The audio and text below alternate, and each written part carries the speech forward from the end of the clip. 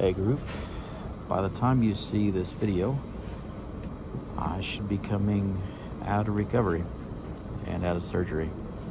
So it is early, early in the AM. I've been anxious for several days now, uh, very anxious. But uh, my friend Taylor Latus over here is in the bed right next to me, uh, being prepped for surgery, uh, for transplant. Uh, so we've gone through all the pre-op over the last couple days, uh, consulting with all the specialists, getting all of the tests done, and making sure that everything's good to go. And uh, we showed up here a little bit before 5.30 in the morning, uh, get everything ready. They're about to steal my hat from me here in just a moment.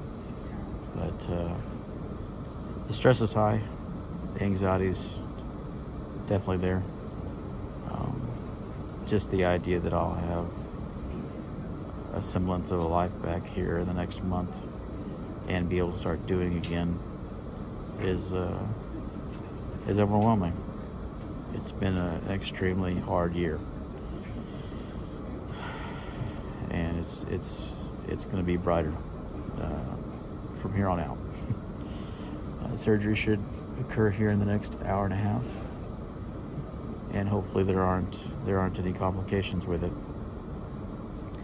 Thank you all for your support, uh, the comments, uh, the Patreons, those that have gotten on GoFundMe and made this, made the burden of, of this horrible year so much less and the stress uh, has been,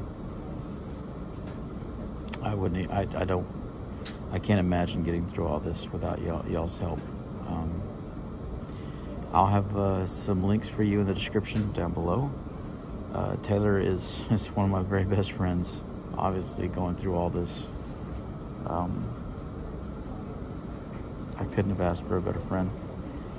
And so, uh, I believe he has a GoFundMe going. So shoot him some love because this has definitely taken some time off of his, uh, his work schedule to come down here and sacrifice and he's going to have some recovery time he'll be here in San Antonio for, for probably around a week recovering, getting stuff going. And he also has a YouTube video or YouTube channel that he's he's rebooting.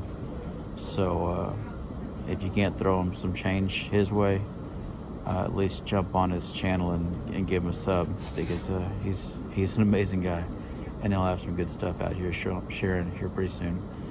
But I'm probably rambling at this point mostly just distracting myself. But uh, thank you guys. The adventure continues, but uh, this chapter is hopefully going to be over quite soon.